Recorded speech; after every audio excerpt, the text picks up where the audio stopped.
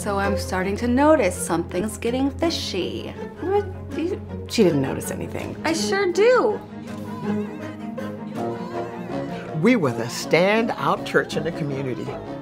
But when the money started slowing up, so did our contribution to the town.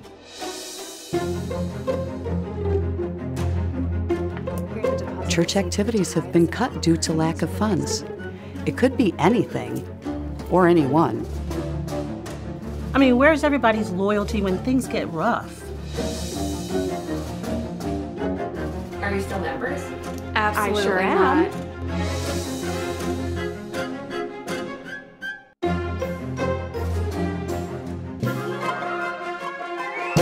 So, where's the money?